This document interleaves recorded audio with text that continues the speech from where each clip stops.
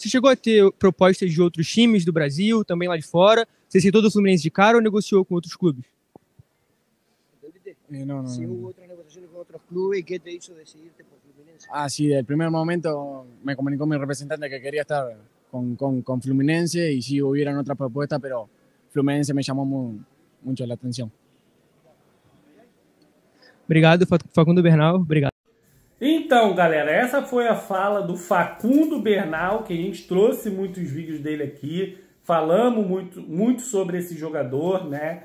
O interesse dele vir para o Fluminense, de ele querer jogar no Fluminense. E nessa entrevista ele fala muito sobre é, o desejo de vir, né? Tipo assim, todo momento, desde quando chegou a proposta, ele falou, cara, eu quero jogar no Fluminense, e aí a vontade dele prevaleceu.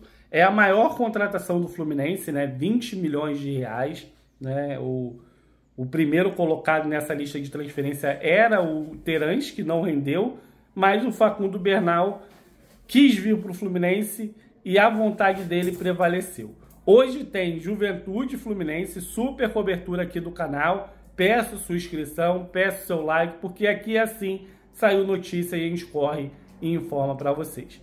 Valeu, um beijo, sou fã de tudo que vocês fazem pelo canal. Sem vocês, nada disso estaria acontecendo.